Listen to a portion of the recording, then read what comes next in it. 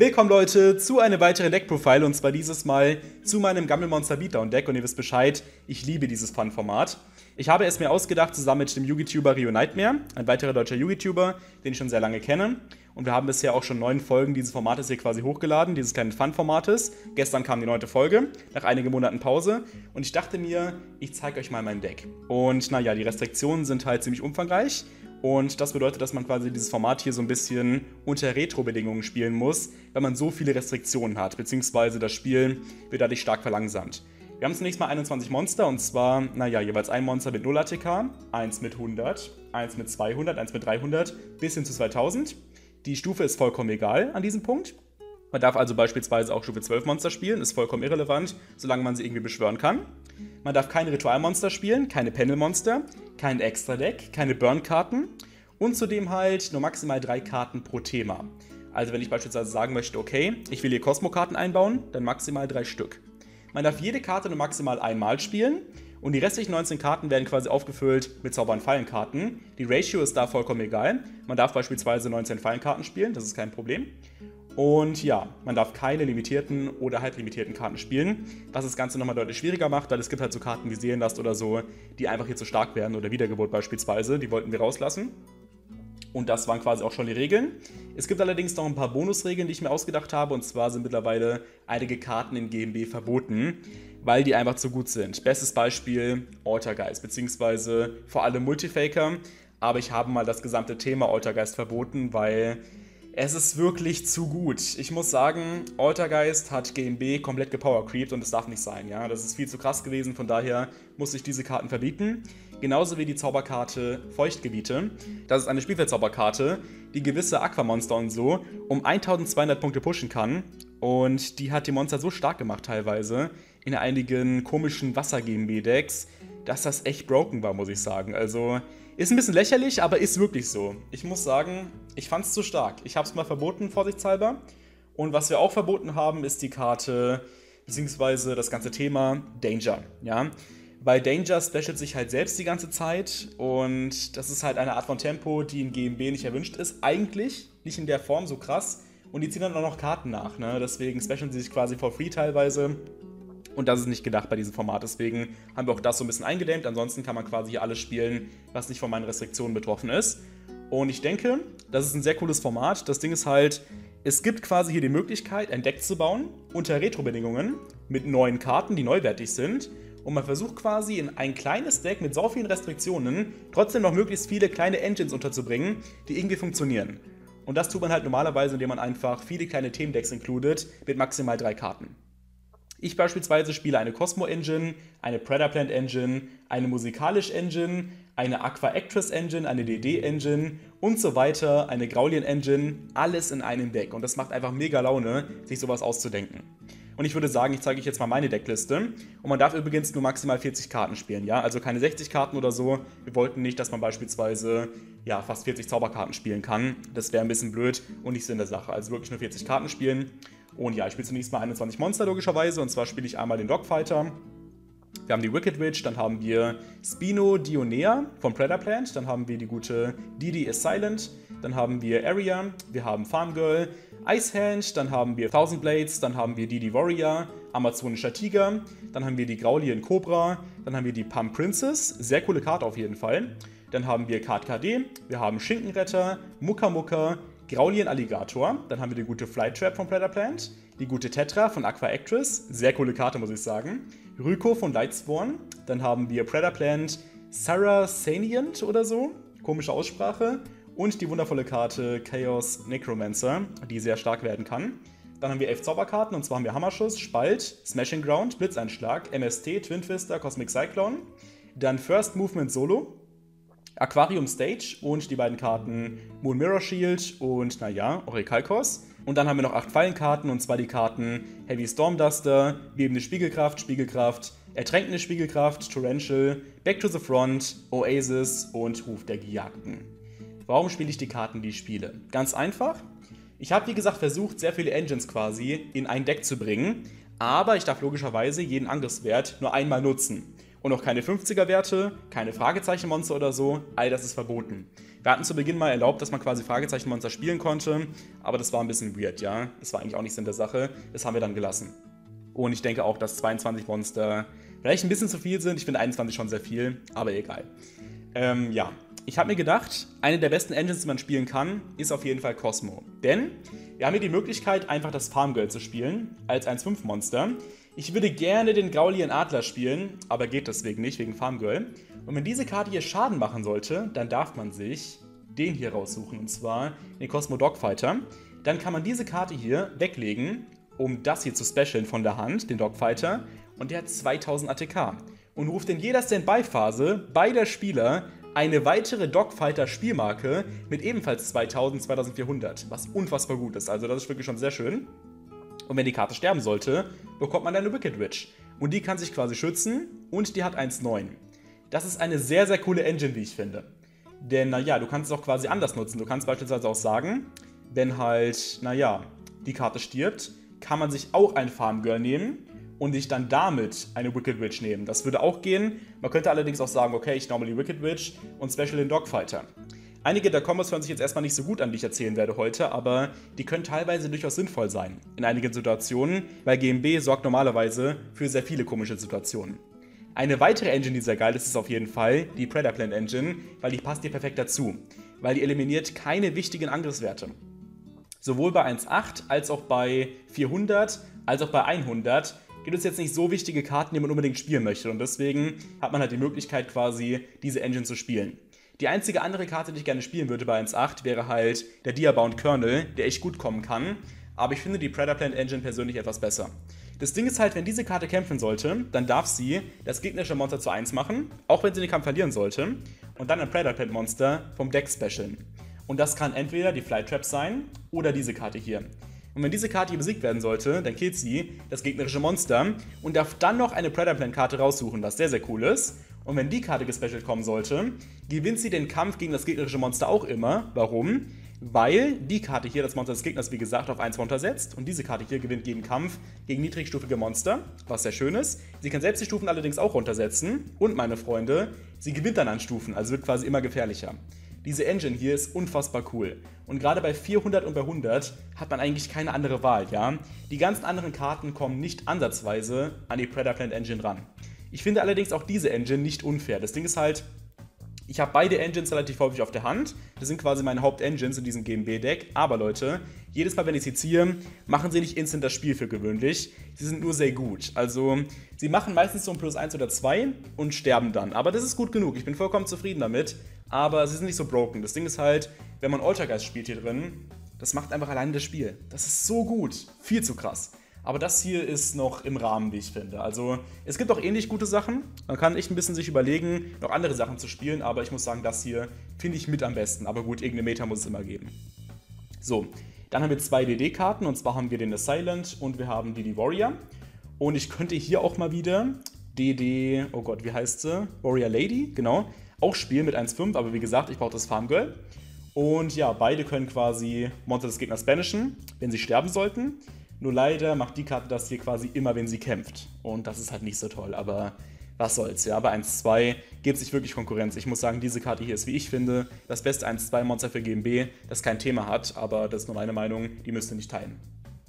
Was ich dann spiele, ist eine musikalische Engine, die richtig geil kommen kann. Das Ding ist halt, wir haben die Karte Aria.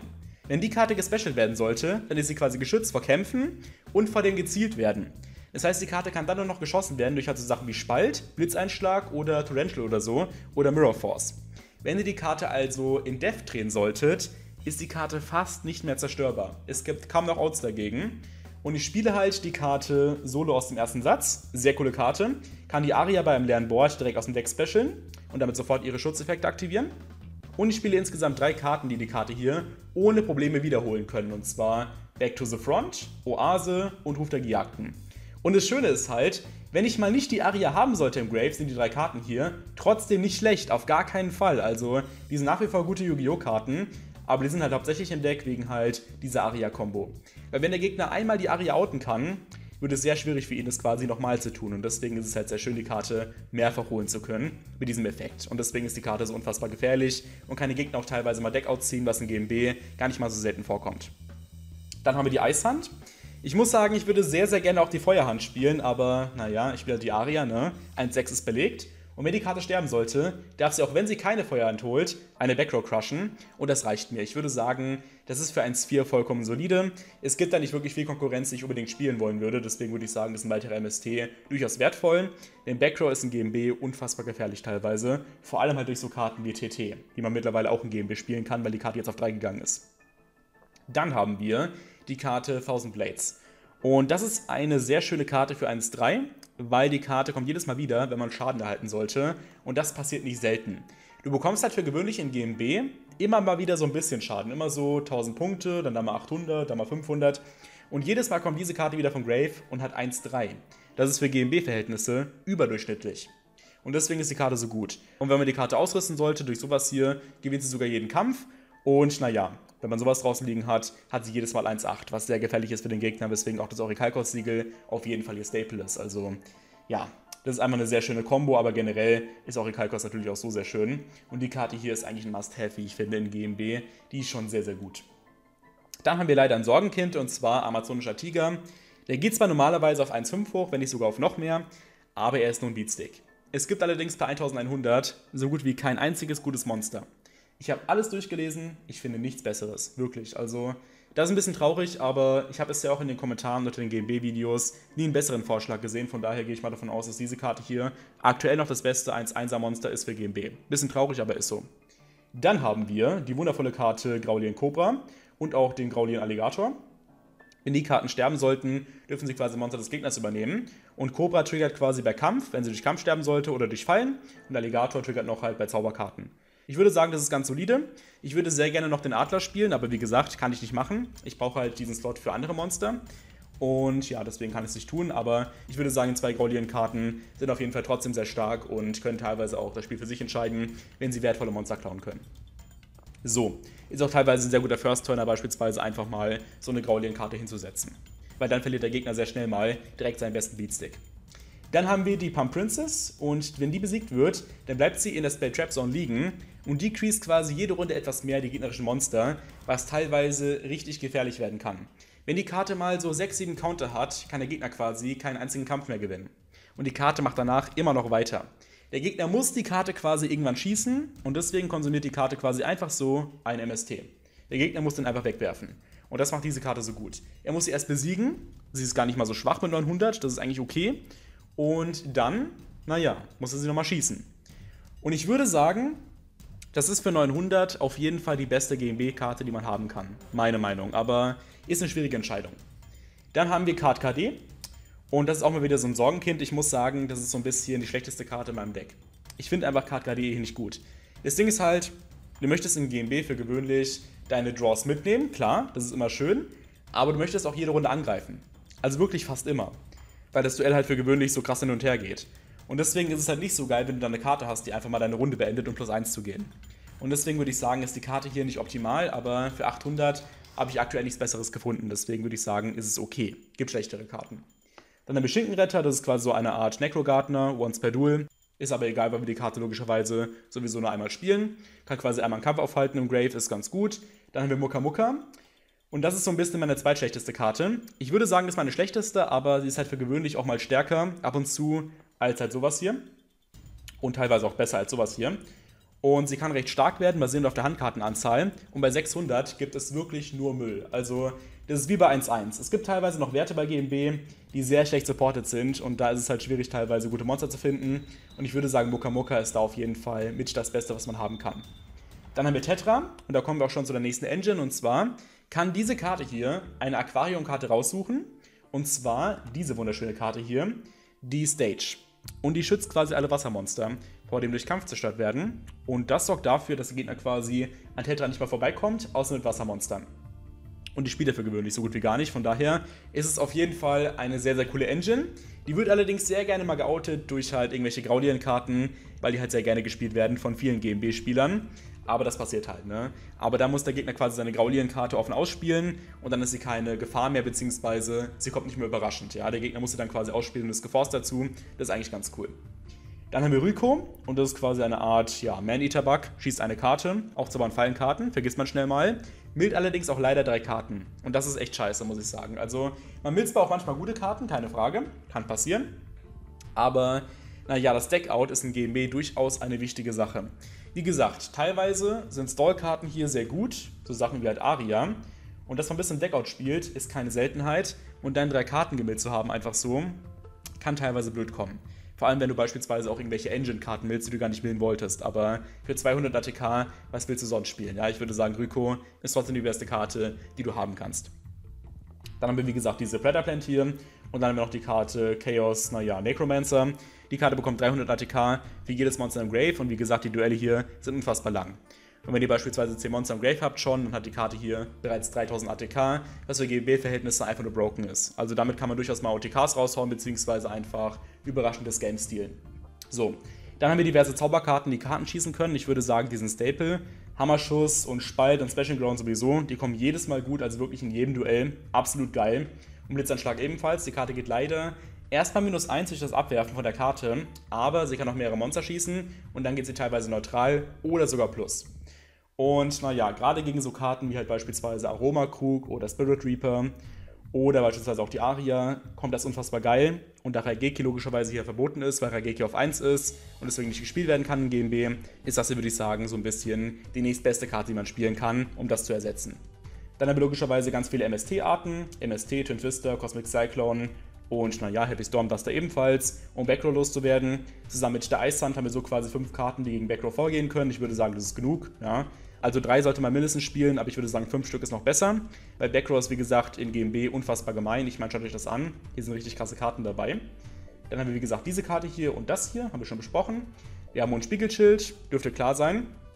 Damit gewinnst du quasi jeden Kampf. Und die Karte hier rettet dich vom Deckout, weil man die Karte immer wieder aufs Deck legen kann. Ich hätte gestern beispielsweise fast gegen Rio verloren, wegen Deckout. Aber ich konnte durch diese Karte hier quasi immer wieder Deckkarten zurückgewinnen und irgendwann sogar den Gegner zum Deckout zwingen, beziehungsweise ihm diesen androhen. Und das kam für Rio beispielsweise ziemlich überraschend, ja. Also das kann echt gut kommen und ich würde sagen, das ist eine Karte, die ist fast schon Staple in GMB. Ich finde sie sehr schön. Und naja, auch Rekalkos ist klar. Landform ist leider mittlerweile nicht mehr erlaubt, ja, weil Landform ist auf 2 gegangen, deswegen ist die Karte nicht mehr in GMB erlaubt, aber ich würde sagen, ja, die Karte ist trotzdem noch sehr gut und man sollte sie auf jeden Fall spielen. Broken ist sie allerdings nicht. Sie ist zwar nicht so leicht zerstörbar, aber naja, 500 Punkte ist jetzt auch nicht gerade die Welt, ne? Man kann auch die Karte Bürde des Mächtigen spielen, aber ich finde das hier etwas besser, weil sich die Karte auch schützen kann, ne? Aber das ist nur meine Meinung. So, dann haben wir ganz viele Spiegelkräfte. Ich muss sagen, die kommen immer wieder sehr gut mit die besten Karten im GMB. Aber Leute, naja, auf gar keinen Fall die Storming Mirror Force spielen, weil die ist scheiße. Das Ding ist halt, Storming kann zwar die Aria outen und auch noch ein paar andere Monster, aber die Storming bounce auf die Hand zurück. Und das ist kein Kartenvorteil. Das ist kein Kartenvorteil. Der Gegner kann die Karten einfach wieder normaln und sie sind wieder da. Und du möchtest in GMB auf gar keinen Fall Minus gehen. Das ist wie im Gold-Format. Du willst das einfach nicht tun, weil du wirst dann wahrscheinlich irgendwann verlieren. Und deswegen ist Storming, wie ich finde, überhaupt keine gute GMB-Karte. Würde ich lassen. Die drei anderen Spiegelkräfte sind wesentlich besser und spiele jede einmal, weil logischerweise kann ich die jeweils nur einmal spielen. Dann haben wir TT, die Karte ist mittlerweile auf 3 und deswegen absoluter Staple in GMB, das ist klar, mit die beste Fallenkarte im Deck. Und dann haben wir logischerweise noch die drei Wiederbelebungskarten. Ich würde sagen, das war's für heute. Ähm, es ist auf jeden Fall ein sehr cooles Deck, wie ich finde. Wie gesagt, ich habe sehr viele Engines hier untergebracht und es gibt bestimmt auch ein bisschen mehr. Vorschläge gerne in die Kommentare. Ich habe hier lange dran gesessen, lange dran gefeilt, immer wieder neue Karten ausprobiert und ich muss sagen, das hier ist so ein bisschen meine Musterlösung. Aber wie gesagt, Vorschläge sind sehr, sehr gerne gesehen. Ich hätte gerne noch ein besseres GMB-Deck, also wie gesagt, seid kreativ. Und da würde ich sagen, könnt ihr mir auch gerne mal komplett andere GMB-Listen schreiben, wo man quasi auf ganz andere Themendecks setzt und so. Es ist ja nicht die einzige Lösung, die ich hier habe. Ja, es ist ein sehr kreatives Format, da kann man vieles ausprobieren. Aber wie gesagt, auch Ritualmonster und Panelmonster sind hier verboten. Das vergisst man schnell mal. Ich hätte beispielsweise auch sehr gerne bei 800 unter anderem, naja, die Karte Exzentrik gespielt. Aber geht nicht, ja. Weil, okay, das wäre ein MST, vielleicht ein bisschen Overkill, aber wäre besser gewesen als Card KD. Aber nein, ist ein Panelmonster. Deswegen, also achtet ihr noch auf die Regeln, schaut sich am besten nochmal an, die Regeln, die ich am Anfang gesagt habe, und dann versucht man Deck hier rumzubauen. Es macht sehr viel Spaß und gegen Freunde ist dieses Format hier unfassbar cool. Und 60 Runden Duelle sind keine Seltenheit. Wirklich sehr cooles Format und es macht mir bis heute sehr viel Laune.